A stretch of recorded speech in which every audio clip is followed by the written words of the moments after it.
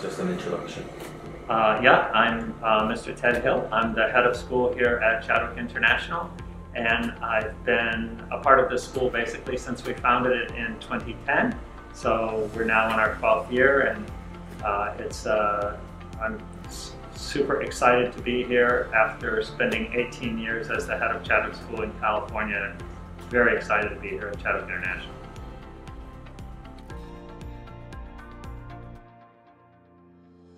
Um, I think the definition that our school has adopted of wellness or well-being is having the resources needed to meet the challenges uh, on an individual level, on a group level, or on a school level. So in other words, if an individual has the resources necessary to meet whatever challenges she or he is encountering, then we consider that they are they have a basic standard of a level of well-being.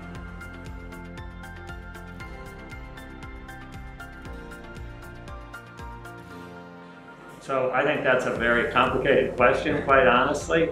Um, so maybe I can just sort of describe the situation. It uh, might be the easiest thing. I think the situation here is really they're very, very high expectations. And we are very fortunate to have a very talented, very ambitious, uh, very conscientious, very dedicated student body.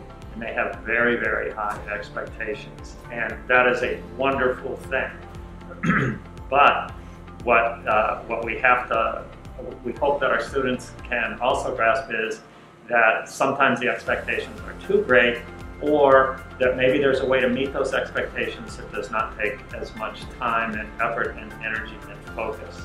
Um, basically, to boil it all down, our concern is that our students are not getting enough sleep and working too hard and putting too much pressure on themselves to excel in every single uh, area and maybe not being able to take full advantage and taking the joy out of school and what they're doing that really is what we also wish for them.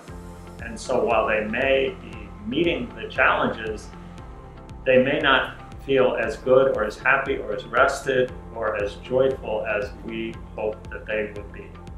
So one thing I would say is for our students, and families and faculty to work together to set reasonable expectations for our students that can enable them to be the full people that they are growing to be, not just uh, focused on accomplishments and achievement.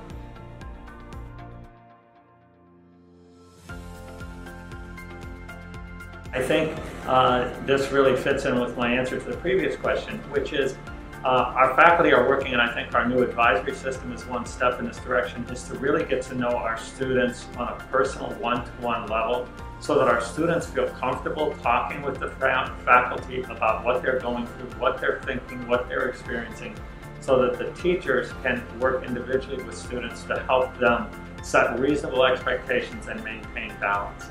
At Chadwick School in California, one thing that advisors do at the beginning of the year is sit down with every student and look at a weekly plan where the student puts in eight hours of sleep and then what sports they're playing and what classes they're taking and what homework they're doing so that we can make sure that it actually adds up to a balanced, healthy week, month, year. And I think that has to be done on an individual level. So I think faculty members encouraging the students to talk with them, to let the students know we want to be your friends, we want to be, in a sense, your guardians, we want to help you, and then to help students understand how they can live a balanced life and still achieve uh, all the things that our very talented and ambitious and wonderful students want to achieve.